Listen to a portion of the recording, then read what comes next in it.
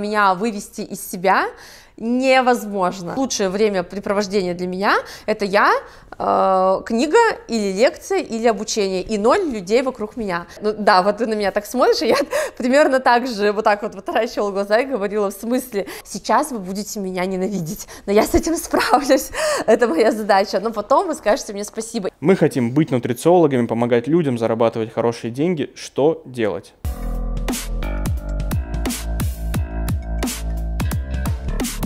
Так, Ксюш, привет. Коля, привет. Я знаю, что вы запустили недавно а, интегративную школу нутрициологов, поправь меня. Поправлю тебя, мы не запустили. Во-первых, мы очень долго а, получали лицензию, но долго, что это длительный процесс. Не мы ее долго получали, очень длительный процесс официального лицензирования в Министерстве образования для того, чтобы выпускать а, дипломированных нутрициологов. И теперь официальное название – это Академия интегративной нутрициологии про здоровье, где мы будем готовить дипломированных нутрициологов. Для всех наших подписчиков я приготовила специальный подарок. Вместе с командой мы составили список из пяти базовых привычек, которые позволят вам прожить на десятки лет дольше, при этом чувствовать себя молодыми и здоровыми. Для того, чтобы получить подарок, необходимо пройти по ссылке в описании к этому видео, и вы получите подарок в ту же секунду на почту и совершенно бесплатно. Ну, то есть, по сути, вы сейчас обучаете профессию, у вас есть да. такая опция, да. чтобы да. люди приходили к вам, становились да. нутрициологами да. и несли правильное питание да. в мир. Да. Uh, у меня есть вопросы Давай. по этому поводу. Мне прям, честно тебе скажу, интересно. Может быть, мне самому надо уже менять профессию. Ксюш, скажи мне, пожалуйста, зачем вы вообще это все делаете? Ну, мне, мне моем искреннее мнение, что вот у вас есть онлайн-школа великолепнейшая, которую прошли там и моя жена, и моя мама уже, да. можно сказать. Да. И зачем вам, по сути, себе делать конкурентов? А, мы абсолютно не делаем себе конкурентов, мы наоборот сами себе помогаем. А, когда мы решили выпускать дипломированных нутрициологов, а, на тот момент, когда у нас в школе было уже год-два, и мы имели огромный пул наших выпускников, и наши ученицы постоянно спрашивали, а вы не будете обучать, а вы не будете обучать? Мы сначала, ну вот нет, мы обучаем для себя. Но потом мы поняли, что люди серьезно воспринимают эту профессию, потому что все наши ученики увидели на себе, на своей семье гигантские результаты. Это был первый звонок, и было было огромное количество запросов на эту тему. Второй момент – это когда наша школа разрослась, наших учеников стало десятки тысяч, и нам понадобились э, кураторы в достаточно большом количестве. Но э, я отношусь к этому очень серьезно, и я не могла брать куратора. Вот сейчас модно брать, просто я могу быть куратором. Как вы можете быть куратором, если вы не дипломированный нутрициолог? И мне лично в школу понадобились дипломированные нутрициологи. И тут случился первый транс, потому что их просто неоткуда было брать. И даже если а, были а, дипломированные нутрициологи, например, с дипломами, но мы же не, берем всех, у нас есть достаточно жесткий отбор, у нас есть тестовые задания, у нас есть а, огромное количество кейсов, которые нужно пройти, потом собеседование и так далее. И мы, сидя с моим руководителем кураторов, просто сидели и несколько недель рыдали, потому что то, что мы видели, как проходит кейс, а кейс это случай, живой случай, допустим, с нашим учеником, когда ты даешь, вот у тебя есть клиент живой, там, вот Николай, ему 27-28 лет, у него так, такие-то диагнозы, у него такие-то симптомы, что ты будешь с ним сделать? И нужно максимально подробно интерпретировать лаб-диагностику и описать. И это практически тестовое задание. Это типа. тестовое задание. И уже на этом этапе вообще никто не справлялся. А, я уже не говорю про какие-то другие компетенции, про эмпатию, про умение работать с клиентами, умение сопровождать, отвечать и так далее. И а, мы просто прям сидели, я помню тот день, когда мы сели и сказали, ребят, мы просто должны готовить сами себе нутрициологов, как мы это хотим. Ты на самом деле предвосхитила мой следующий вопрос, потому что у меня он написан так. Ксюш, по моему мнению, нутрициологов в России до хрена. И, внимание, вопрос, а тут ты говоришь о том, что вы не могли найти себе... В... Их вообще практически нет, да, кто-то а, готовит сейчас, начинает, и это, это не тот объем, это вообще не, это нисколько на самом деле. То есть я вот, а, мы с тобой говорили, и я это знаю, и я это вот сейчас это подтвердили на последней конференции, что на одного врача должно приходиться 4 нутрициолога, если мы хотим помогать людям восстанавливать здоровье, если мы хотим, чтобы сокращалось количество заболеваний, если мы хотим, чтобы люди не, не госпитализировались в принципе. Чтобы ты понимал, я даже делала запрос в CNM, колледж натуропатической медицины в Лондоне, а, так как я их студент, они говорили, да, Ксения, без проблем мы разместим а, эти вакансии, и то есть я даже уже до Лондона доехала, чтобы взять себе а, дипломированных нутрициологов. И, но тут вопрос, ты можешь называть себя нутрициологом, вопрос твоих компетенций. Да, а, получить сертификат, пройти двухмесячные курсы, это не значит быть нутрициологом. А такие есть, да? Такие есть, и они есть в огромном количестве, они выдают не дипломы а, государственного образца, поэтому, потому что для этого должно быть 256 учебных часов, а, ты должен предоставить свою программу, доказать, что она работает, что она действительно закрывает абсолютно все компетенции, которым должен был дать нутрициолог, а в рамках трехмесячного курса это сделать невозможно. А у вас это получается все? У нас годовая программа. Годовая? Годовая программа, да, и даже э, далее у нас будет еще возможность расширения, где мы будем э, привозить э, иностранных преподавателей и делать более углубленные кейсы, разбирать их, и, скажем так, то сейчас э, человек, который идет э, обучаться, он получит профессию интегративный нутрициолог. Да, мы хотим еще давать еще более глубокие знания. Окей, хорошо, допустим, э, вы все это сделали, и там через какое-то время, через год вышло 2-3 тысячи э, настоящих нутрициологов, дипломированных, клиентов-то всем хватит? А, Коль, чтобы ты понимал, каждый человек в России это, это, это потенциальный клиент. Просто сейчас еще это не все осознают, а, но это не только люди в России, это люди по всему миру, так же, как у нас а, учениц учатся из 45-6 стран мира, также и твои клиенты это люди со всего мира, особенно если, допустим, у тебя есть знание языка, но даже если просто ты разговариваешь на русском языке. То есть потенциально твои клиенты это все, учитывая наше питание, образ жизни и болезни, которые мы умеем, здорового человека найти практически практически невозможно. И нутрициология находится еще в зачаточном состоянии, то есть ее популярность а, будет только расти. И я тебе хочу сказать, что, естественно, часть лучших а, студентов мы заберем сразу же себе.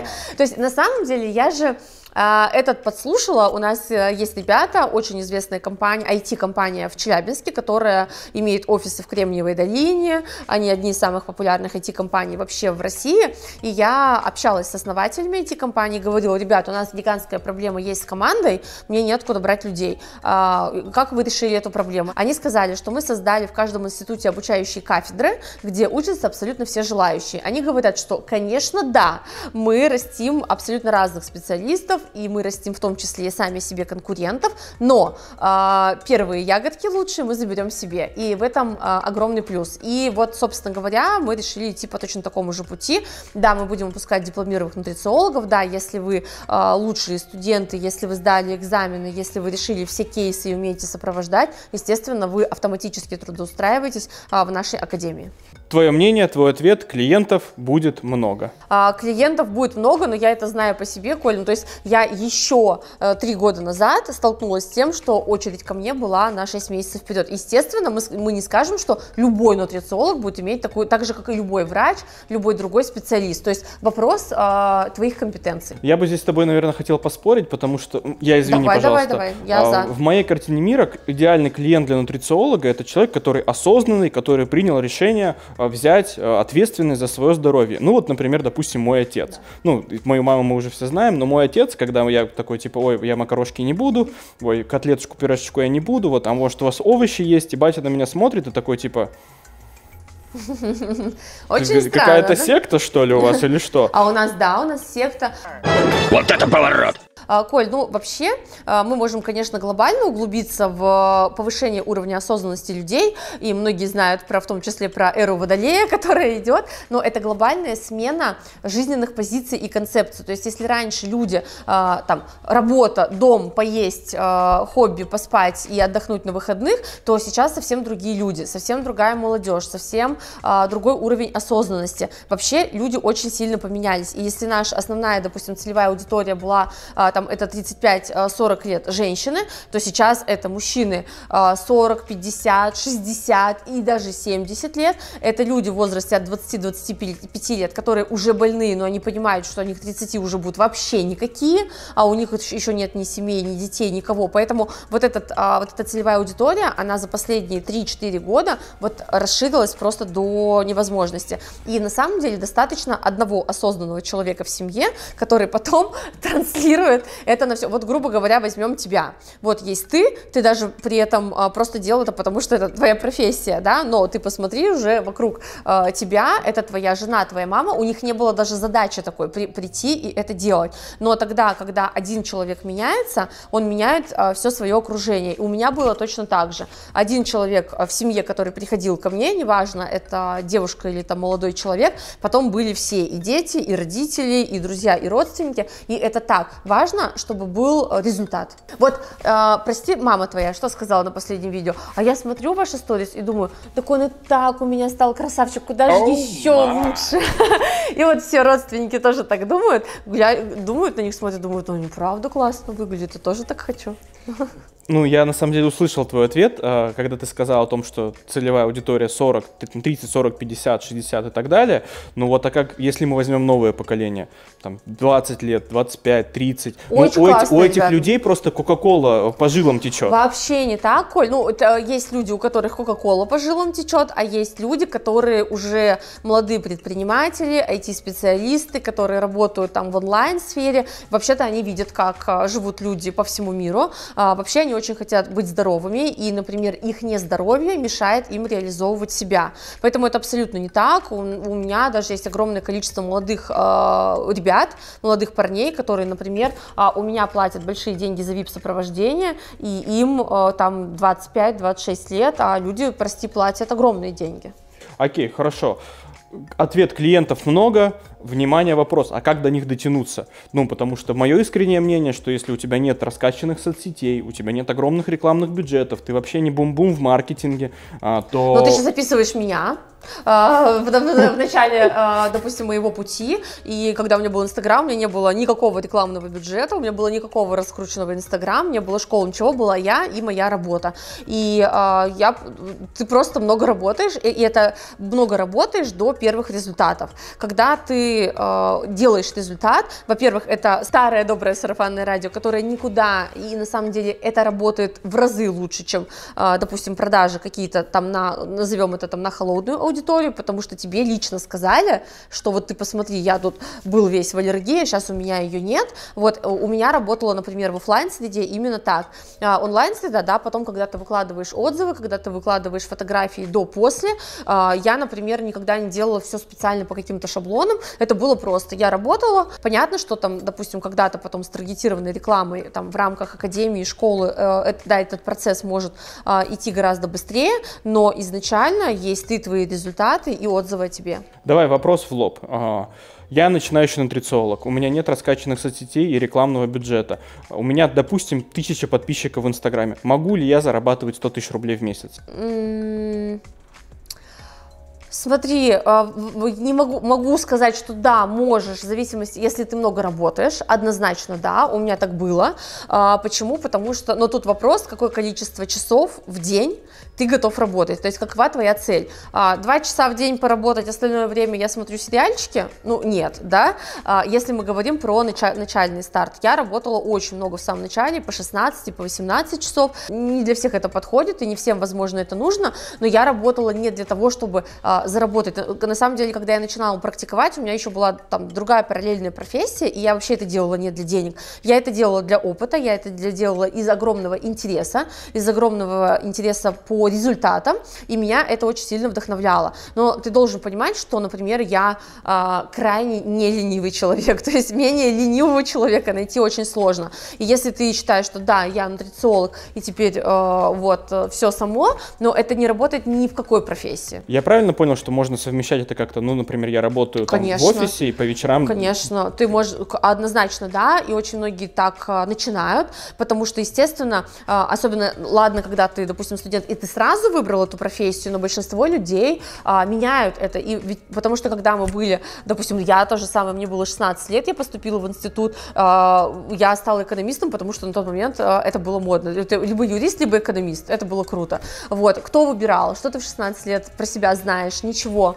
И поэтому, конечно, был период, когда э, я не понимала, нужно ли мне отказываться от первой профессии, ты можешь от нее совершенно спокойно не отказываться. Да, ты можешь консультировать в рамках своего свободного времени, э, если ты это позволяешь, и понять потом э, приоритет чего. У нас же было так, с, например, с нашими кураторами в школе, когда мы поначалу позволяли совмещать. Например, э, вы работаете в школе, и вы можете э, совмещать, но потом мы понимали, что это невозможно. Ты качество не можешь падает. контролировать качество, творчество, да, и у нас оставались а, нутрициологи, да, у нас кто-то из лучших уходил, например, и я это уважаю, эту позицию, но те, кто оставались у нас, это было правило, что ты работаешь в школе, мы, при этом ты вообще ничего не делаешь для поиска клиентов, это надо тоже понимать, вот, но и ты не работаешь на стороне. Ну, я здесь могу сказать, что есть разные люди, кому-то вот именно хочется делать, кому-то хочется вот Кому, создавать кому-то свое. нравится да, и это... развивать, кому-то нравится развивать соцсети, кому-то нравится это общение, абсолютно. Вот у меня вопрос появился. Ты сказала, что ты очень сильно, как говорит моя мама, ухайдокивалась, по 18 часов в день работала. Э, Если я правильно понимаю, профессия нутрициолога сводится к тому, что ты смотришь анализы и такой, о, не хватает, не хватает, не хватает, вот пейте вот это. Ну, как бы, где А, здесь это- тяжелый, э, кропотливый э, труд? Это вообще не так. А, Смотри, во-первых, ты а, проводишь изначально консультацию, то есть как это выглядело у меня. Причем я тебе хочу сказать, что когда я начала практиковать, этому вообще никто не учил, как работать с клиентами. Вот, например, сейчас, да, мы запустили Академию нутрициологии, у нас будет бизнес-кафедра, у нас будет кафедра коучинга, где мы бу- будем обучать, как ты должен работать с клиентами, как ты себя позиционируешь, как ты выставляешь границы в том числе, потому что у работы с людьми нет границ, чтобы ты понимал, мне писали ночью, утром, э, по вечерам, э, мне там э, скидывают, прошу прощения, какашки практически каждого члена своей семьи, и ты должен уметь выставлять границы, в том числе при работе с клиентами. И это уже возвращаясь к тому, а какой здесь труд. Так вот, чтобы ты понимал, у меня были предварительные анкеты, которые я анализировала, после этого а, я выходила и минимум полтора-два часа, а иногда больше ты общаешься лично,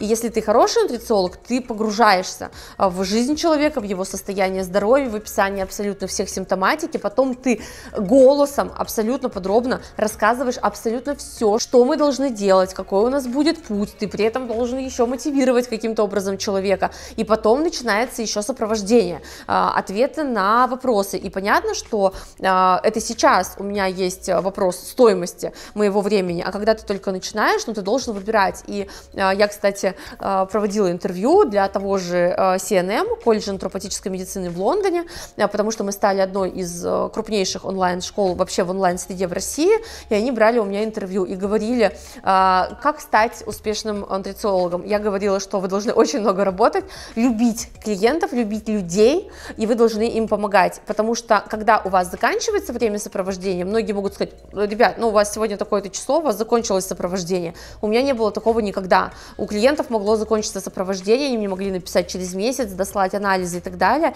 и никогда я не говорила, извините, там, доплатите, у вас закончилось сопровождение. Поэтому моя была цель довести до результата и получить а, определенный кайф, в том числе от того, что ты вот привел человека вот к такому результату. И многие вообще меня не поняли, а, когда я давала это интервью, потому что говорят, вот вы говорите, но вы так и не сказали, как стать успешным нутрициологом. Я говорю, а я ответила на вопрос, как стать успешным нутрициологом. Я правильно понимаю, что по сути самое сложное в профессии нутрициолога это общение с людьми? Да, это очень сложно, потому что это, во-первых, ну, но надо сказать, что это огромный опыт. Чтобы ты понимал, а, после такого количества лет ежедневного общения с абсолютно разными людьми, а меня вывести из себя невозможно. Меня не может вывести из себя никто, ни ребенок, вообще не происходящие события, потому что ты работаешь с мамами, с женщинами в стрессе, с мужчинами абсолютно разными, ну, то есть с таким количеством людей, и абсолютно у всех разные запросы, претензии, характер, э, условия работы, и, естественно, не бывает так, что ты до людей, на кого-то надо э, очень мягко, кого-то можно, наоборот, надавить, кого-то нужно в хорошем смысле слова поставить на место, потому что на всех работает по-разному, потому что из тебя могут э, тянуть жилы, тебе могут врать, не выполнять и так далее. То есть это да, большая психологическая Ну, то есть работа. Ты однозначно не советуешь эту профессию интровертам, которые не умеют общаться с людьми.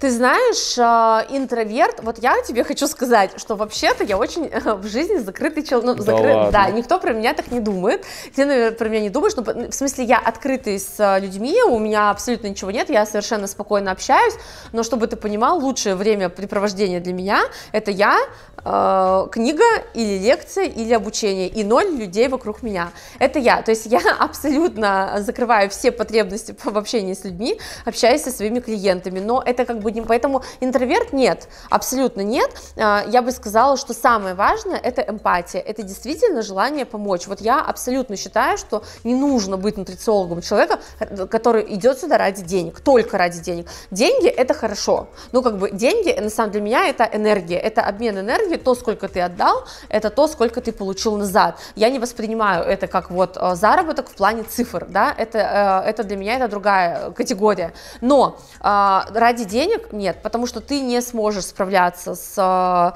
с потребностями других людей в общении, в обратной связи, в поддержке и в помощи, если ты не эмпатичен. А ради чего тогда стоит идти в нутрициологию? Вот если у тебя есть в любом случае а, внутри вот этот зародыш а, помощи людям, когда ты действительно искренне а, вникаешь, что с ним происходит, и действительно ты осознаешь, что да, у тебя есть, а, это одна из а, составляющих твоего счастья, что ты полезен, что ты действительно помогаешь людям. Не у всех есть такая задача, на самом деле, не всем это нужно, но а, в человеке должна быть такая потребность, иначе ты разочаруешься в профессии, а, ты будешь психовать, беситься, а человек э, в таком состоянии, он не может помочь человеку. Ну, это ты человеку. говоришь про призвание помогать людям.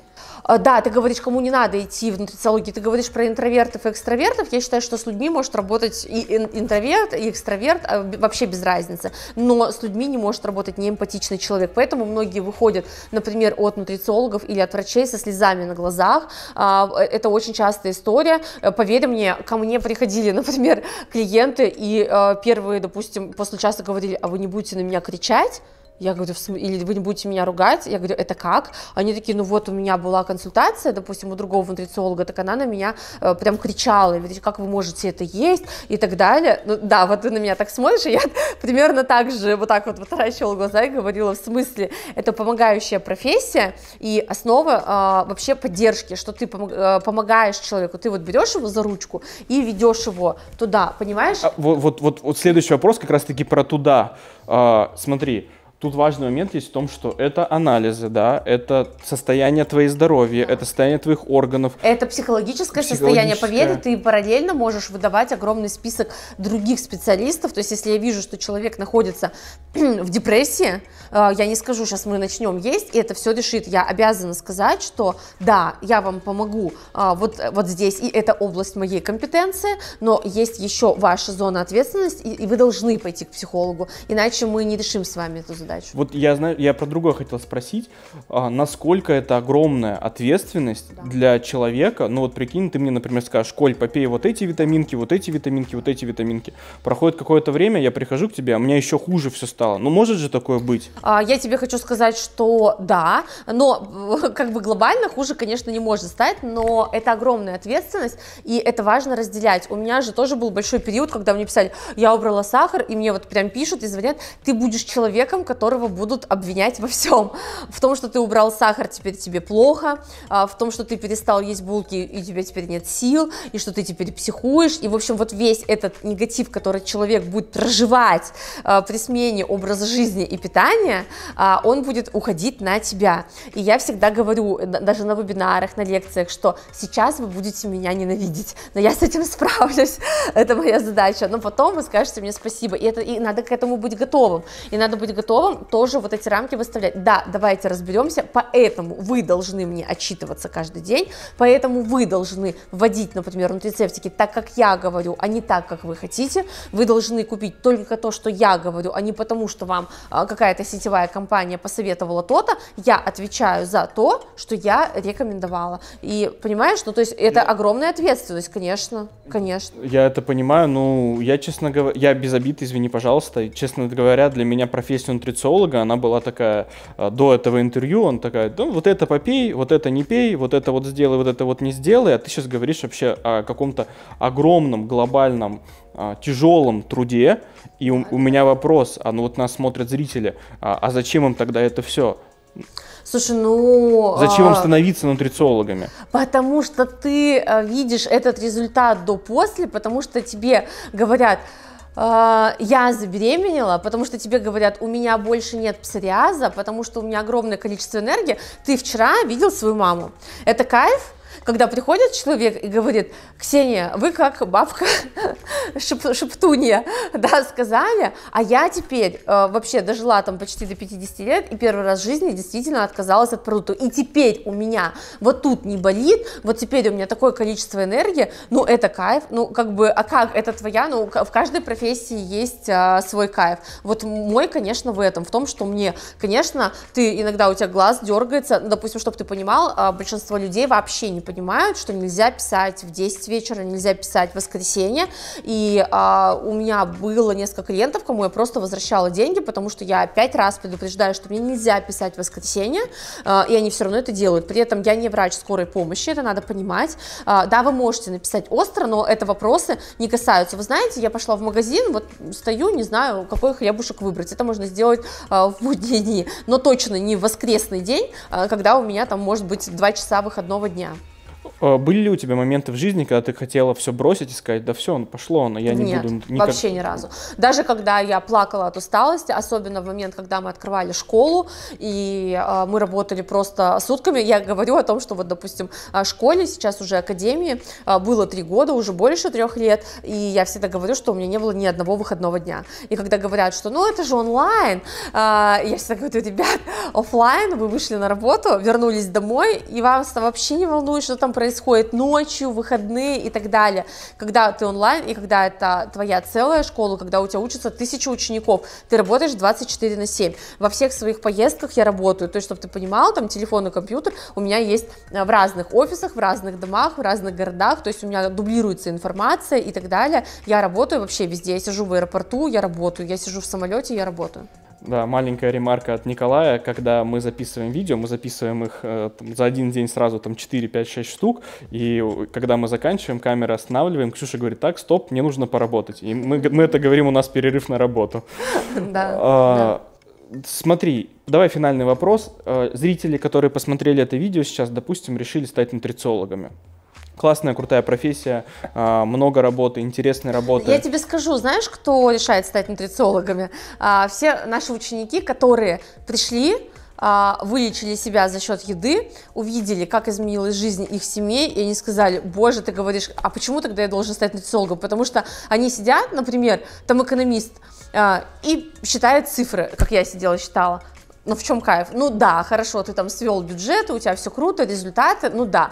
Но когда там твой ребеночек становится здоров, или когда ты сам себе там э, создал красивую кожу лица, конечно, это, это кайф. Вот этот кайф, он ничем не передается. И именно наши выпускницы, наши ученицы потом решали становиться нутрициологами. И чтобы ты понимал, сейчас мои кураторы, это когда-то э, выпускники моей школы, которые, которые потом прошли обучение, вернулись и стали работать, потому что они сказали, что да, мой путь когда-то начался с вашей школы, с моего изменения здоровья, а теперь я также хочу научить помогать людям. Ксюш, окей, финальный вопрос. Допустим, наши зрители сейчас посмотрели это видео и такие, мы хотим быть нутрициологами, помогать людям, зарабатывать хорошие деньги. Что делать? А, что делать? Ну, во-первых, да, понять, что ты этого хочешь. А, во-вторых, а, можно перейти в Инстаграм нашей Академии, Академии интегративной нутрициологии, да, ссылки у нас будут в описании к этому видео. Там вы можете почитать всю информацию о курсе, о том, как стать, что входит в годовое обучение. Вы можете оставить свою заявку в директ в том числе. Мы с вами свяжемся, и вы можете вносить оплату за обучение. При этом оплата за обучение, те, кто заканчивал когда-то нашу школу и был учеником, языком, мы делаем скидки, а, да, совершенно спокойно, и сейчас в современном мире можно вообще брать а, рассрочки, беспроцентные рассрочки, в том числе от различных наших банков-партнеров, и вы учитесь и платите ежемесячный платеж. Не надо платить всю сумму, как это, например, а, платила в свое время я, или, например, когда у тебя за границей обучение стоит миллионы. Ты через это тоже проходила? Я через это прохожу сейчас, да, в том числе. Смотри, допустим, я все это прошел, подписался на Инстаграм, а, написал в Директ, начал обучение. Есть ли шанс того, что через месяцок-другой я уже начну принимать клиентов и отбивать свое обучение? Во-первых, ты начнешь практиковать с первого месяца, потому что наша практика заложена изначально в обучении. У всех будут тьютеры-нутрициологи, которые вас будут сопровождать. Тьютеры это? А, тьютер, ну как бы это сопровождающий дипломированный нутрициолог, который тебя а, постоянно рассказывает, помимо всей обучающей программы, как ты должен работать. Плюс мы с первого месяца обучения выдаем кейсы живо, живых людей, которых, на которых вы практикуетесь, настоящих. настоящих, под сопровождением вашего куратора, и вы практикуетесь уже на них. Через три месяца вы получаете практически базу и основу нутрициологии, и мы выда... через три месяца обязательно выдадим сертификат. Вот с сертификатом консультировать уже по питанию вы можете, а через год, когда мы пройдем лабораторную диагностику, когда мы изучим нутрицептическую поддержку, мы уже выдаем диплом государственного образца с правом ведения деятельности, и тогда вы уже можете работать не только с питанием, но и с э, нутрицептиками. Но через три месяца совершенно спокойно, и я вообще бы всегда рекомендовала начинать получить огромную практику консультации по питанию, нежели чем по нутрицептикам, потому что нутрицептики сегодня есть, завтра их нет.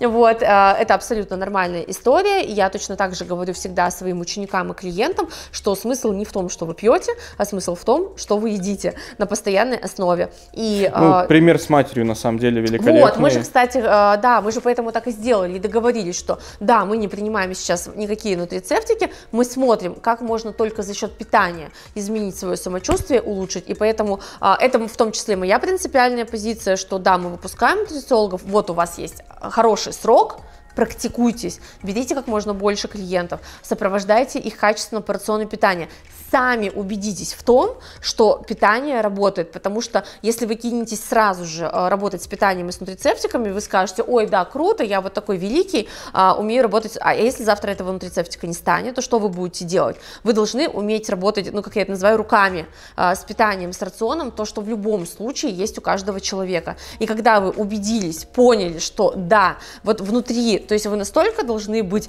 э, уверены на 200%, что питание это основа, что когда вы это будете транслировать а, своим клиентам, и у них не будет тогда сомнений. А если вы такие, ну, я не знаю, тут питание не сильно, давайте мы еще вот тут вот, а, вот 20 баночек попьем, да, вот тогда точно вам поможет. Вот лучше так не делать. Ксюш, я предлагаю финалить, и как модератор этого сегодняшнего интервью прошу тебя обратиться к нашим зрителям, которые стоят по ту сторону камеры. По сути, это наше первое видео из программы э, «Стань нутрициологом», да, обучение профессии, поэтому прошу тебя обратиться к ним честно, на духу, вот кого ты ждешь, кого не ждешь. И спасибо тебе за ответы на мои глупые вопросы. Они не глупые, Коль, спасибо большое. А, итак, конечно же, я с а, великой гордостью и радостью а, приглашаю вас обучиться новой профессии. Это профессия будущего. Это великолепнейшая профессия, которая позволяет вам реализовать себя. Если вы чувствуете в себе потребность помогать людям, если вы хотите помогать в том числе себе и членам своей семьи, при этом работать из любой точки мира, зарабатывать хорошие деньги, а зарплата нутрициолога это всегда больше 100 тысяч рублей рублей в месяц. Я вас э, искренне приглашаю в нашу Академию интегративной нутрициологии, где вы обучитесь у лучших специалистов, будете находиться под сопровождением лучших дипломированных нутрициологов, и где вам будут читать лекции э, лучшие специалисты на сегодняшний день и в интегративной нутрициологии, и в интегративной медицине. Переходите, пожалуйста, по ссылке в Инстаграм Академии интегративной нутрициологии, узнавайте всю информацию, задавайте вопросы, мы обязательно с вами свяжемся и ответим на них. Спасибо тебе огромное. Спасибо, Коль.